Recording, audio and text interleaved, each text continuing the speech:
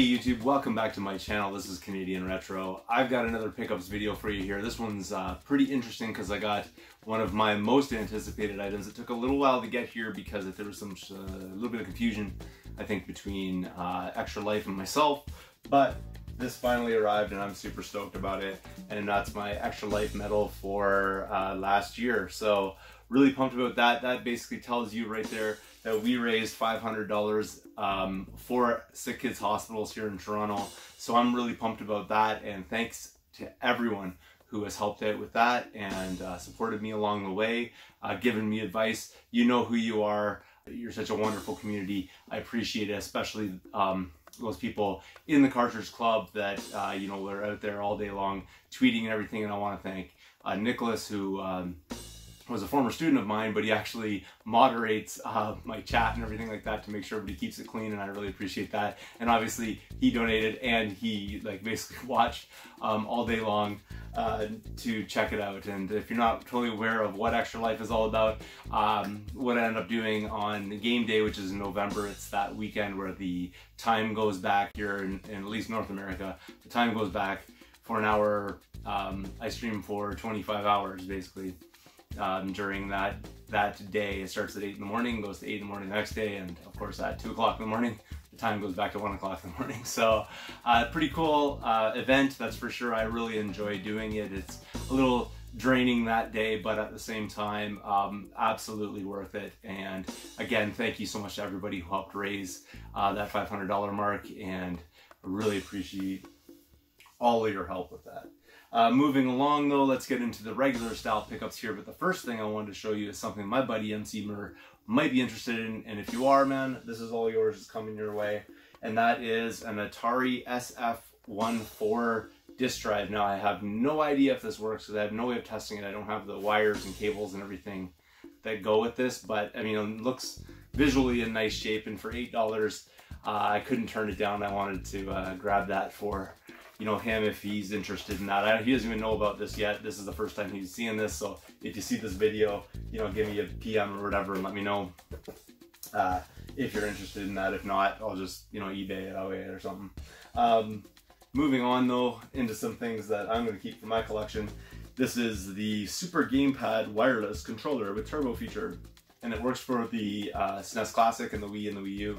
So really cool right there. Um, I didn't have one of these already. It has turbo function, basically modeled after like a Super Nintendo controller, but it seems a little bit uh, narrower, but that could just be the layout of it. But what I've heard, good reviews for this. Uh, my wife found this in a Goodwill. We were visiting somebody, and across the street was a Goodwill. And on our way out, we were like, oh, let's just stop in there and see what's going on. And uh, she found this while I was looking through the racks of media for video games. So pretty pumped about that. And $6, not going to turn that down. Uh, moving on from there, got, let's see here, a couple of games. These are at the same time. Um, I didn't have this one in the collection, that's why I picked it up. I'm not too sure about anything about it really. I just think it's sort of like a cooperative kind of game where you help, the characters sort of help each other out. They have like different strengths and you have to use their strengths to get through the levels. I'm not totally certain about that, but at the same time, uh, I did want to uh, pick it up anyway, and that's Ed, Edd, and Eddy. I don't know if you guys know this game on GameCube. If it's any good, you let me know. But I picked that one up, and that one there was six dollars, which is not too bad of a deal.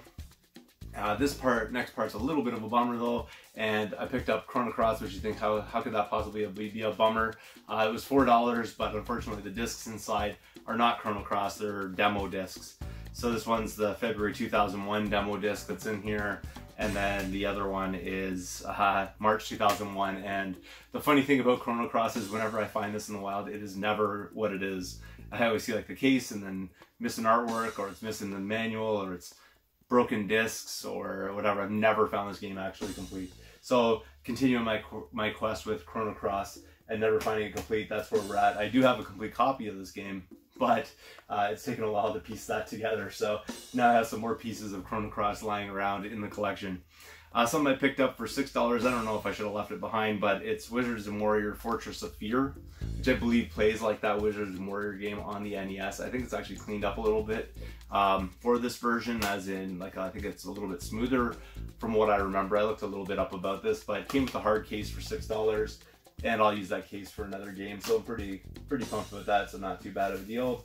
picked up some uh, NES uh, covers just for, you know, putting around my box games. So that was just an eBay find. I don't even remember what I paid for those. Not not anything like super special right there. Uh, picked up a couple of controllers as well. These were on two different days, but uh, essentially the same price, I'm pretty sure. And this was uh, $5. This is a smoke gray PS1 controller. I believe this is for PS, PS1. But yeah, so pretty cool right there. I like to pick up like the varying colors and they just look really cool. And I really like the color of this one. This one always like impresses me when I see it. And this is the, I don't know, like teal green kind of uh, translucent one. So really nice right there. And that was also $5. So not too bad at all. Back into a few more games here. Uh, this one here I picked up yesterday, and that is Marvel uh, versus Capcom 3, Ultimate uh, Marvel versus Capcom 3. Did not have that in the collection, so I picked that up, and that was uh, $4.99, so not bad for $4.99. And then these ones are a little bit more pricey by a dollar, but they're $5.99 at the Value Village, and that is Aliens versus Predator. And I also picked up Ghostbusters, the video game, which I think I have on PS3. I'm not totally certain about that right now, but I wasn't to turn it away. And if you haven't played this game, absolutely, you should play it. This one here, I've never played before, so I'm to have to check that one out as well. The final thing I wanted to show you here, which I'm pretty pretty pumped about because you don't see this every single day, uh, I ended up getting a Sega Master System, so that's pretty nice. I already have one of these in my collection, and I have a box one uh, as well, but uh, still cool uh, nonetheless to find that out in the wild. You don't see that every single day. Came with uh, two controllers, the zapper, unfortunately no AV cable or power cord with it, which is kind of a bummer, but that's what it is. I And a copy of Shanghai, which I didn't have in the collection. So that's kind of nice, unfortunately missing its manual, but what are you going to do, right? But otherwise, like the cartridge looks in pretty decent shape and, you know, uh, it'll sit nicely on the shelf anyway, and you don't really see Master System games out there too frequently. So thought I, you know, when I picked everything up, I just it was all there in the same bag. So, you know, anyway, uh, moving on. Uh, also picked up Monster Boy, uh, sorry, Wonder Boy, Monster Boy, Wonder Boy in Monsterland.